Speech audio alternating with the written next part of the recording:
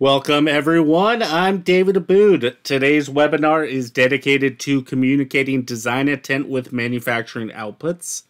I'll be initiating some polls throughout the webinar. If you have any questions, please put them in the Q&A panel. And if there are any issues, please just raise up your hand and throw something over in the chat panel. We're going to get started today by discussing the different output files required for PCB manufacturing and assembly. We will then move on to discussing the methods for uh, data generation and the different data package sets. Once we've discussed the different data package sets, we'll discuss the standard extensions and file types found in those data packages.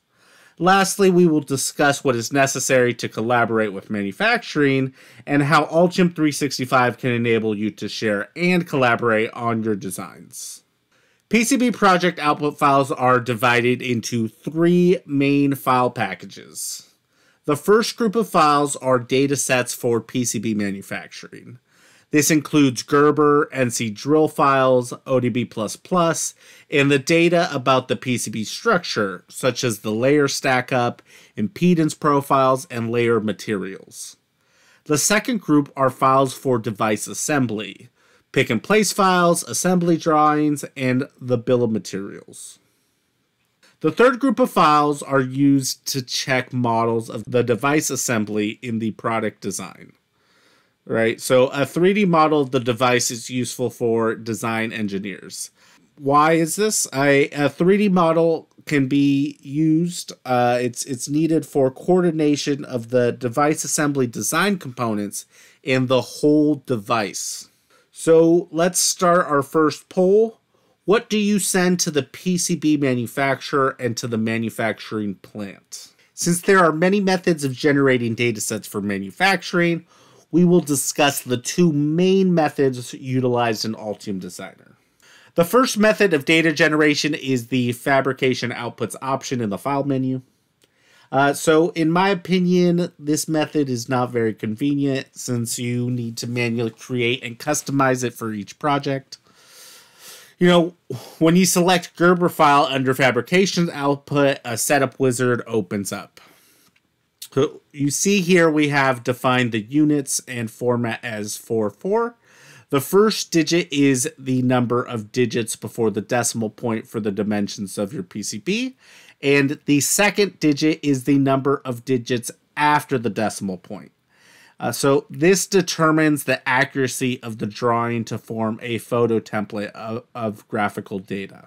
For example, if you use a 0.005 grid and the output files at 4.3, the maximum PCB dimensions will be 9,999 and the grid will be rounded to 0.001. Uh, which in some places may lead to potential problems in reproducing the topology drawing uh, in the photo template. So uh, in the next window, we will specify the layers to be generated in Gerber files. So pay attention to the checkbox that says include unconnected. In a multi-layer PCB, the via connect pad will remain on all layers if the checkbox is enabled. If the checkbox is disabled, the via contact pad will be on only the top and bottom layers of the PCB. You can also specify the mechanical layers that will be displayed in each layer on the right side in the layers menu. So for manufacturers with older CAM systems, this can be useful when they are combining photo templates with no through holes on the PCB. Next is the drill drawing tab, providing two more information layers. The first shows the location of the drill holes. The second indicates the placement of the guide for each hole type. So manufacturing can determine and verify the correctness of the drilling data from this documentation. Then we have the apertures tab. So set the embedded apertures checkbox. This is RS274X. This will place the apertures for photo template drawing formation in the Gerber files. Lastly, we have the Advanced tab. The first thing to note is under batch mode, separate file per layer. We then set the checkbox keep leading and trailing zeros. For example, if the coordinate of some element is 10, earlier we chose the leading length uh, to the decimal point as 4. When writing the coordinate in the Gerber file, it will be displayed as 0010. Uh, next, we should specify the reference to the relative origin, and that is determined in our project. For now, we're not going to pay attention to the other parameters. The next fabrication output is the NC drill file. We start by selecting the units and format as we did with the Gerber file, and we set the generate separate NC drill files checkbox for plated and non-plated holes. If a project has connectors with contact paths defined as slots, you need to set the used drilled slot checkbox. If you plan to create a panel, you can specify the size of the cutter that will separate the workpieces. So you can set the checkbox generate board edge rout paths and then specify the rout tool dia uh, or the size, right? In this case, a Gerber file with specified rout paths with, with custom size around the board shape will be created. I'm going to start another poll here. How do you create Gerber files? Next is ODB++ generation. This requires you to simply select the layers by selecting the plot checkboxes. The last fabrication output we will discuss is the board stack report. You can use the report board stack from the fabrication outputs menu, but I'm going to show you how to get the board stack up outputs with information about impedance profiles and via types. This method provides information on layer stack parameters, material types, and thickness. This information already exists in the layer stack manager with both via types and impedance profiles. We simply open up the PCB document and go to design layer stack manager or shortcut keys DK. And in the file menu, we use export CSV to get all of the information from the layer stack manager. Now we're going to take a look at assembly outputs starting with pick and place files. This file will show you the coordinates of the component center. So we simply specify the units and file formats, and then we choose which column should be displayed and in what order. To build a PCB assembly, you need to create a bill of materials and assembly drawings. The assembly drawing sheets allow you to print various required layers. Later, I'm going to demonstrate how to configure one of these assembly drawings.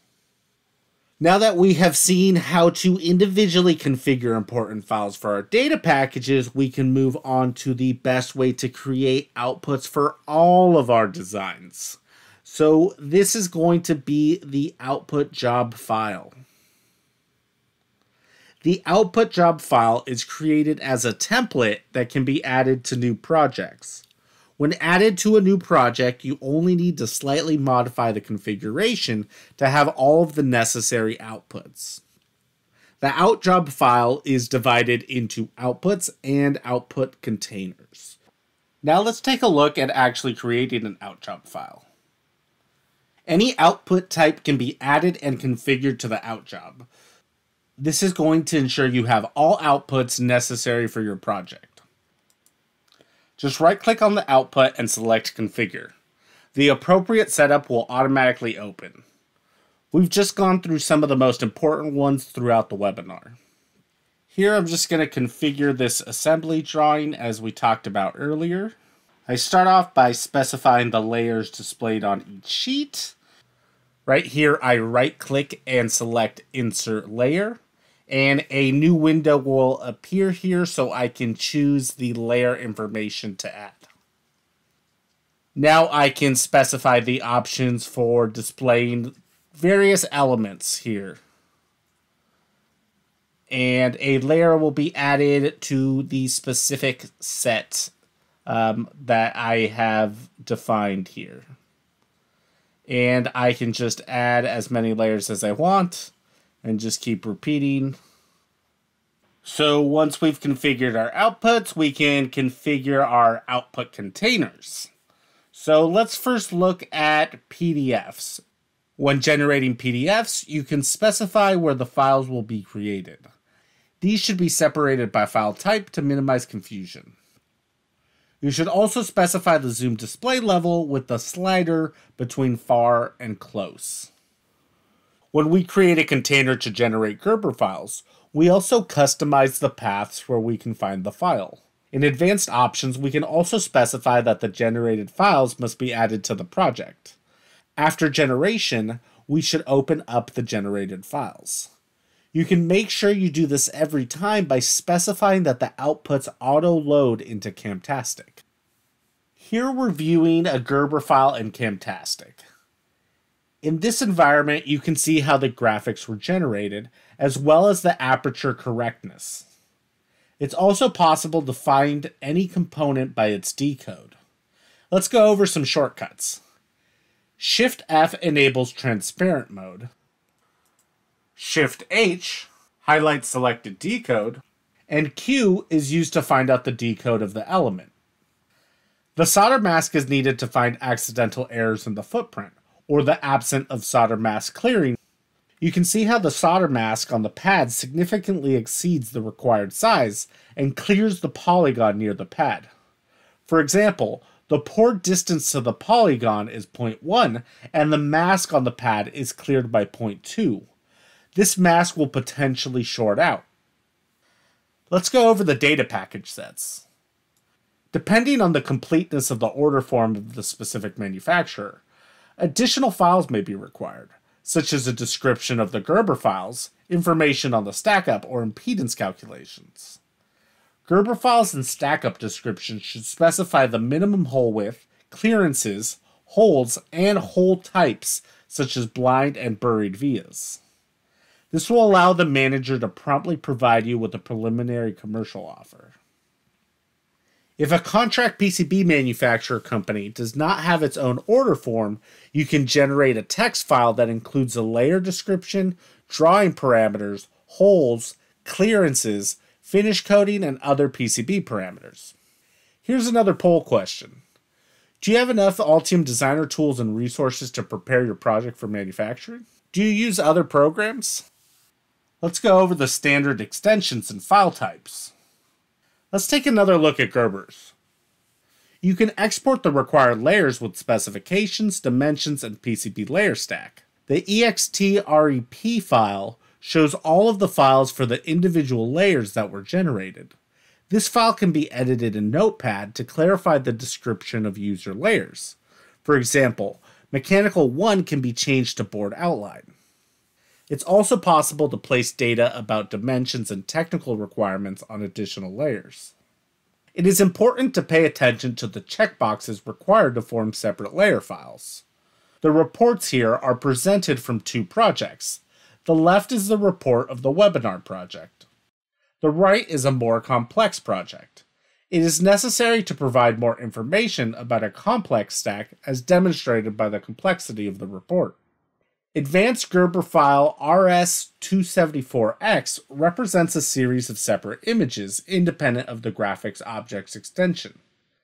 By putting these objects together, this file type offers a combined image of each layer of your board, including the dimensions, shapes, and placement of real components.